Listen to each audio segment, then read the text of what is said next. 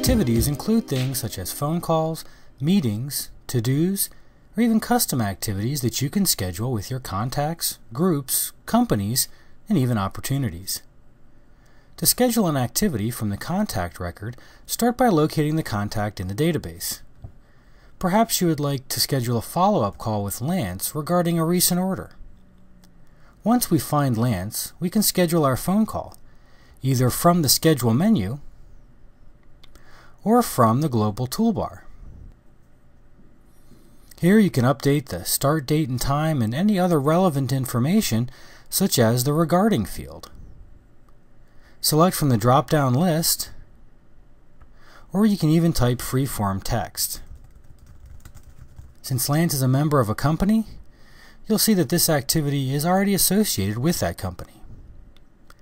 You also have the option of updating the priority, the color, or even whether or not you would like an alarm to ring. Then click OK. After an activity is scheduled, you can view it from the calendar, from the task list,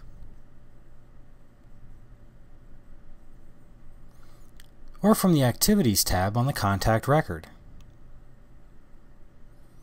When you complete the activity, it's important to clear it in order to create history in the database to include in reports and for your own information click the checkbox next to the activity and the Clear Activity dialog box displays.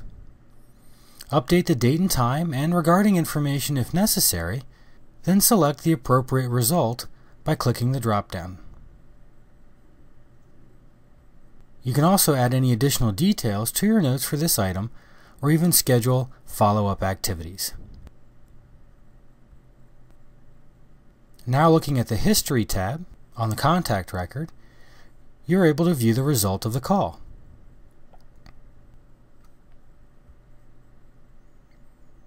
Over time, this is valuable information because you can quickly identify your past interactions with your customers.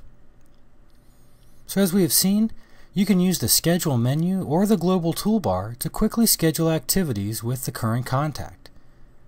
After completing an activity, Clear it so you can record important information back to the contact record.